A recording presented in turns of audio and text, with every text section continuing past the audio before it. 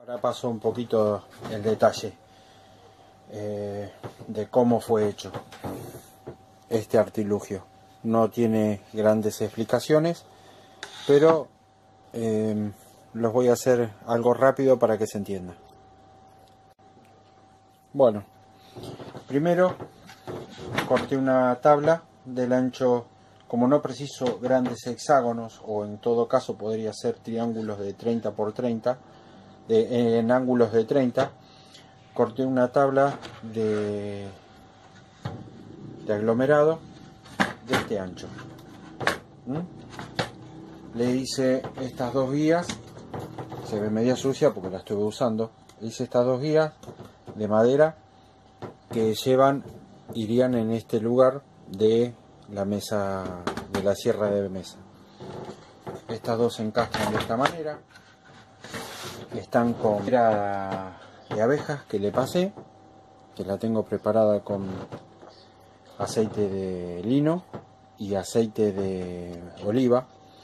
Entonces esto ayuda mucho a que esto camine de esta manera así tan ágil. Bueno, después de hacer eso, eh, levanté la hoja, hice este corte, levanté la hoja para que quede de esta manera y así poder tener ya el ángulo, eh, sacar el ángulo de 30 grados.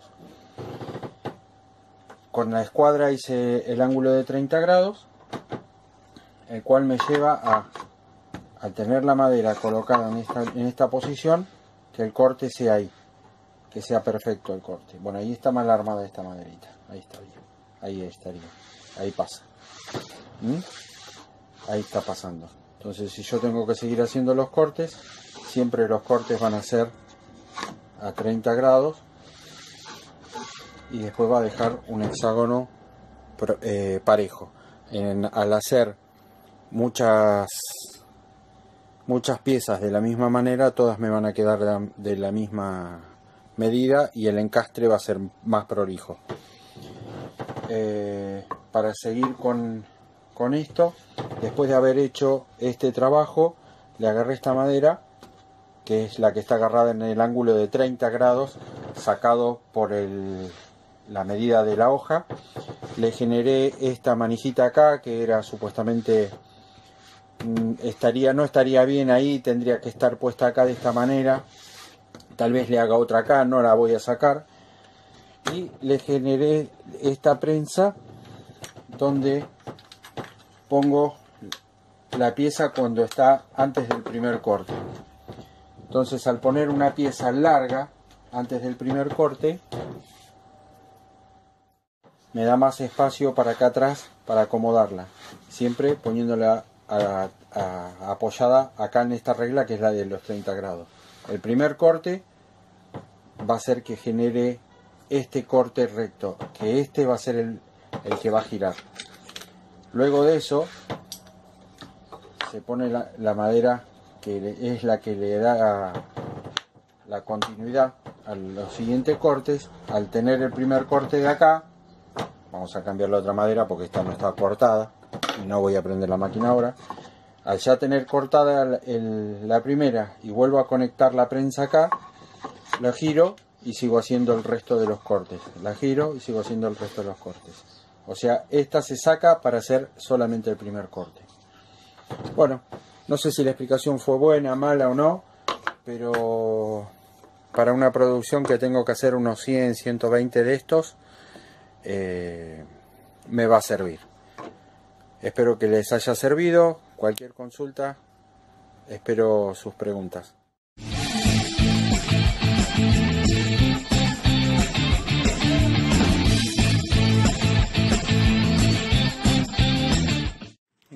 Acá me preparé este artilugio para poder cortar hexágonos en este tamaño y que todos salgan iguales. Lo hice sencillo para la sierra de banco.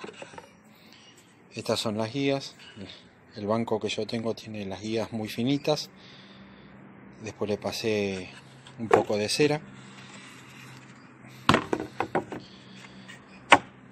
De esta manera la madera ingresa por acá.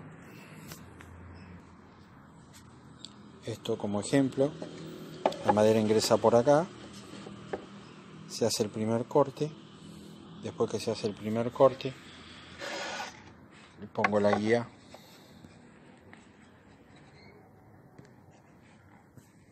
De esa manera ahí lo sujetamos y después que está el primer corte esto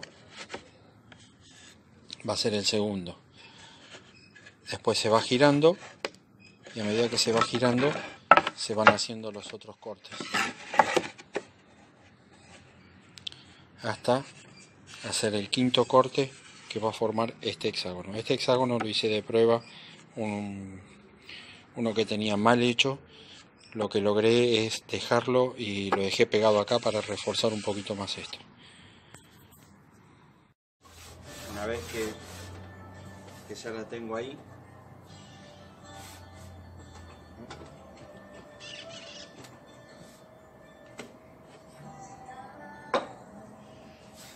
El ángulo de acá es de 30 el ángulo es de 30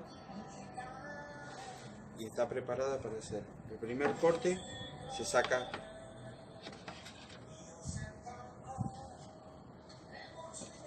Trabajamos.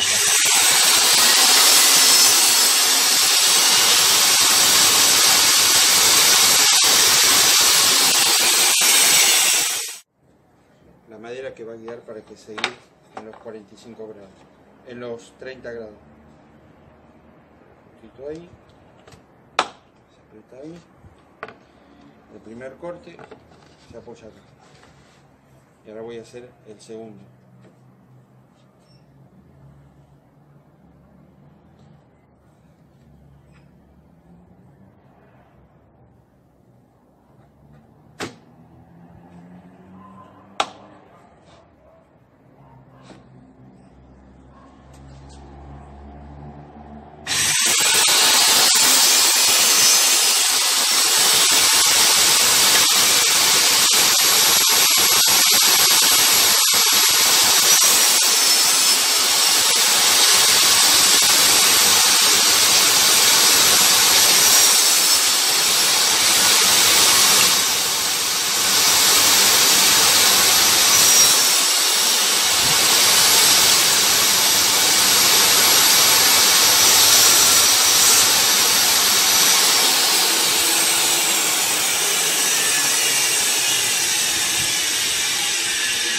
Quedando así de esta manera los hexágonos. Quedando así de esta manera todos los hexágonos cortados a 30 grados y sin ningún problema. Y de esta manera me van a salir todos iguales. Bien ahora que ya la tengo lista y medida lo que voy a hacer es corregir todos estos